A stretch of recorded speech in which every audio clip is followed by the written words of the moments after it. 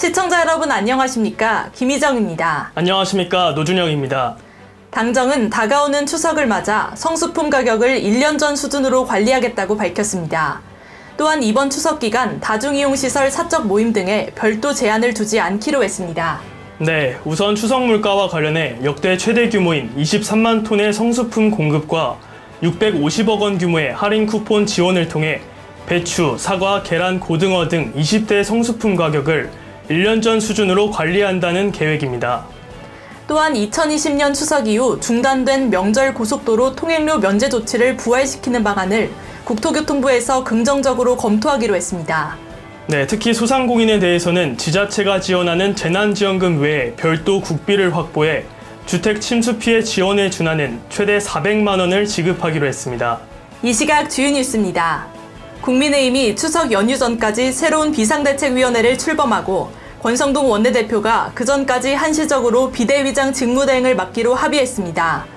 권성동 원내대표는 새 비대위가 출범하면 거취를 스스로 결정하겠다고 전했습니다. 이재명 후보가 제5차 전기 전국대의원 대회에서 누적 득표율 77.77%를 기록하며 새 당대표로 선출됐습니다. 이 대표는 살을 깎고 뼈를 갈아 넣는 심정으로 완전히 새로운 민주당을 만드는데 저 자신을 온전히 던지겠다고 포부를 밝혔습니다. 윤석열 대통령의 국정수행 지지율이 30%대를 유지하며 3주째 상승했다는 여론조사 결과가 29일 발표됐습니다. 리얼미터 조사 결과 윤석열 대통령의 국정수행에 대한 긍정평가는 33.6%로 집계돼 전주보다 1.4%포인트 올랐습니다. 1주택자 등의 종합부동산세를 완화하는 법안의 국회 통과가 계속 지연됨에 따라 연말에 납세 대혼란이 일어날 우려가 점점 커지고 있습니다. 정부는 종부세법, 조세특례 제한법 개정안의 국회 통과 마지노선을 이달 30일까지로 보고 여야의 마판 논의에 촉각을 곤두세우고 있습니다. 코로나19로 어려움을 겪은 소상공인을 위해 10월부터 30조 원 규모의 새 출발기금 채무 조정이 시행됩니다. 이는 부실차주에 대해 최대 80%의 원금을 감면해주는 제도로 정부는 도덕적 해이를 막기 위한 여러 보완책도 추가했습니다. 제57회 공인회계사 최종 합격자 수가 사상 최대를 기록했지만 회계법인들은 인력난에 시달리고 있어 신입회계사 쟁탈전이 벌어질 것으로 보입니다. 유럽연합이 러시아인을 상대로 관광비자 발급을 더 비싸고 까다롭게 하는데 합의할 전망입니다. 블룸버그 통신은 EU 외무장관들이 31일 블룸버그 통신은 EU 외무장관들이 30일 체코 회의에서 러시아 관광객을 줄이기 위해 러시아와 맺은 비자 촉진 협정 중단을 지지할 것으로 파악됐다고 보도했습니다. 파키스탄에서 지난 6월부터 기록적인 폭우가 쏟아지며 지금까지 어린이 388명을 포함해 1000명이 넘는 사망자가 발생했습니다.